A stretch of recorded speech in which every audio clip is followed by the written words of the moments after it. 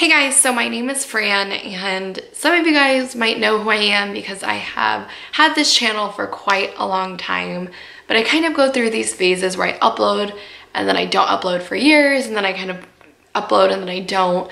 But I really miss YouTube and blogging and being creative and all that jazz and I am now married and graduated and I work part-time currently. I work retail and I just really, really miss having something creative to go home to and do.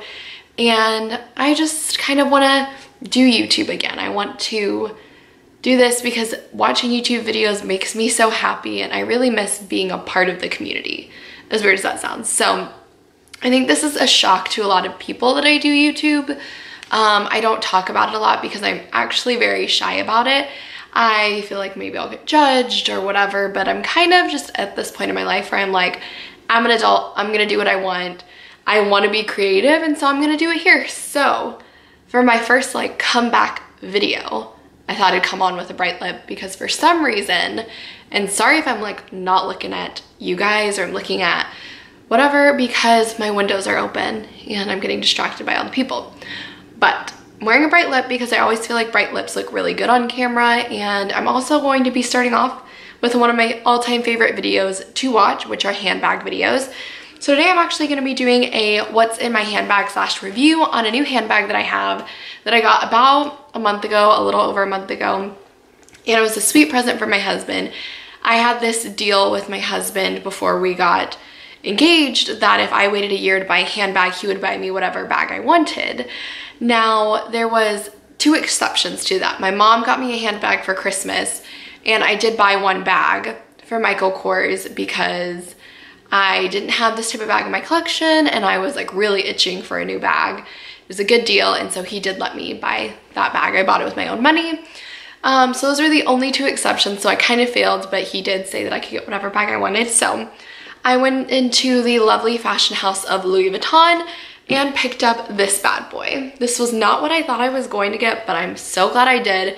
It makes me so happy every time I see it. And I just think it's one of those classic bags from Louis Vuitton that not everyone has, which I love. So I'm gonna show you guys what's in here and then I'll kind of give you a little review of the bag, tell you a little bit more about it if you're interested. So let's go ahead and get started. I have not filmed in so long, so it feels very, very weird to be like filming. I also chopped my hair right after I got married and I love it, but I still don't know how I'm supposed to freaking style it. So this is what I'm dealing with. But first thing I have is an umbrella. I got this umbrella, or my husband got it for me, and it's from Nicole Miller. I just love the print on it and all my umbrellas break, so I needed a new one.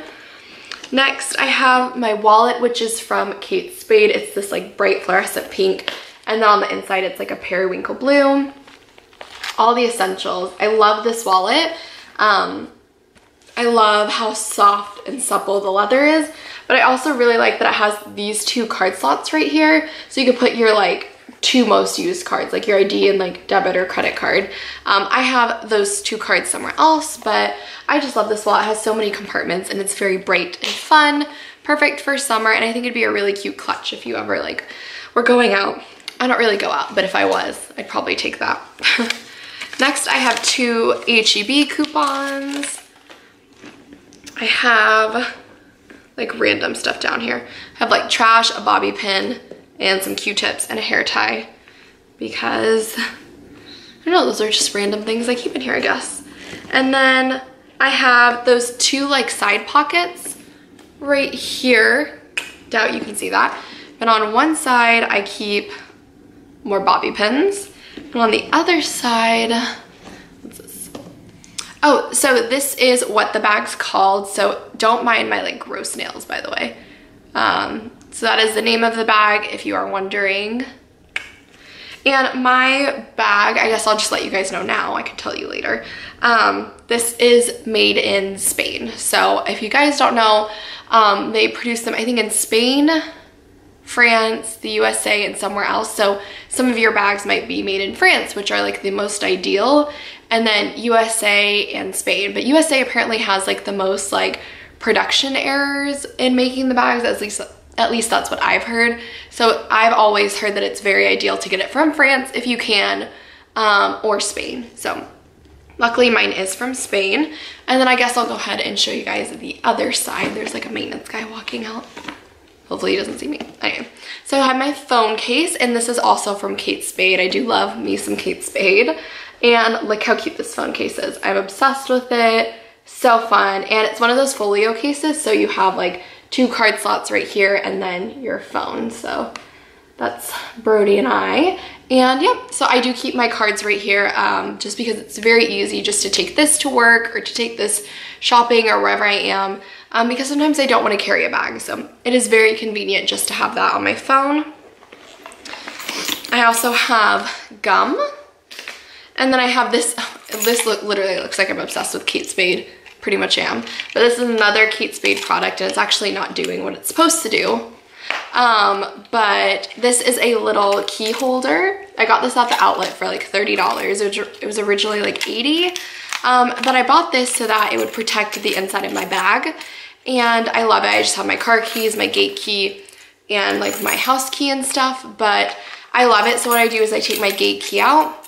I put all of my keys in and I just close it. And I usually have it like this if I'm not like driving with it, I have it like this in my purse and that just protects the suede lining of the bag so that it doesn't get scratched and stuff. I think if you're definitely going to invest in a bag, you might as well invest in something like this to protect your keys. Now you could just buy a pouch or anything.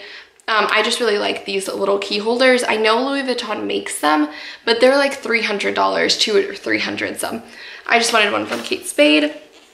And then in this little like side pocket, I have my Hawaiian Tropic chapstick. It's like SPF 45 because it is super hot here. And then I have my little drawstring bag from Louis Vuitton with a little box that held the keys um, to the little lock. So I just keep that in there because it makes me happy. Um, and I like to keep that. So that is everything in the two like open pockets. And then in the middle zip, I think all I have are receipts. Yeah, I just have like a ton, a ton of receipts that I need to organize and stuff, but that is literally, that's, that's all that's in there. Nothing exciting. Um, so yeah, that is everything I carry in here. Um, I love this bag so much. It fits a ton, but it's also not too big. It's just amazing. So I guess I'll talk to you guys a little bit about the bag. So um, it is the MM size, so it is the medium in the monogram canvas and it has the vachetta leather, so the bare untreated leather all over, right here, here, there, and then a little bit on the inside um, with the pull strap, and then right here.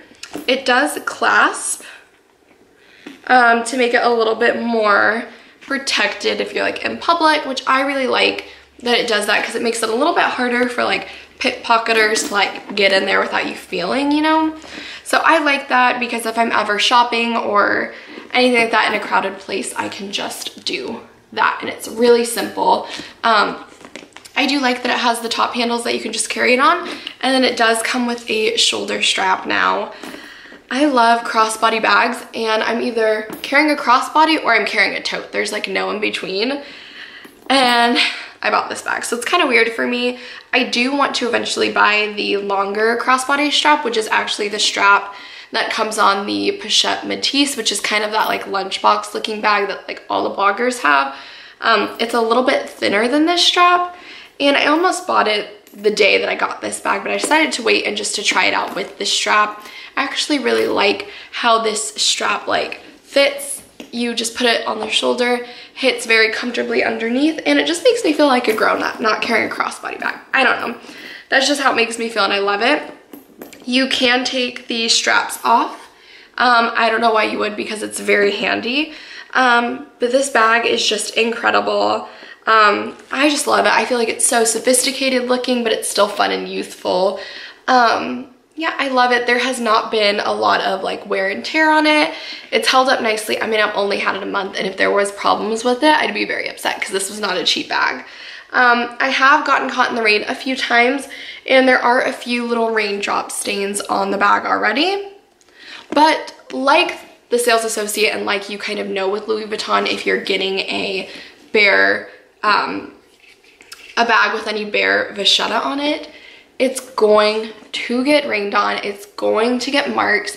You cannot baby this. It's very bad to treat this leather. That's what everyone has ever told me about Louis Vuitton. You don't want to treat it. You want to let it age properly. Um, and they're kind of just little beauty marks. So, I mean, I'd probably be mad if there were like rain marks everywhere already, but I think that just kind of gives it character. I'm not really worried about that. Um, I feel like I take really good care of my bags, so I think it looks really good. Um, it is getting a tiny bit of that honey patina, which is when the leather kind of darkens and ages, but nothing too crazy yet. And I kind of really want it to darken already. I'm like trying to be patient, it's hard. But yeah, I absolutely love this bag. I think if you're looking to get a classic bag from Louis Vuitton that's never gonna go out of style, but it's not one that everyone has, this is such a good one to go with. It's just so beautiful and I love it. Um, this was definitely like worth the wait completely. I love this little baby. It makes me so happy. So yeah, I hope you guys enjoyed this video, kind of my comeback video. Hopefully it wasn't too long. I will see you later. I will leave all of my social media links down below. Pretty much just Instagram and that's it actually. So um, yeah, um, thanks so much for watching and I will see you guys in my next video. Bye.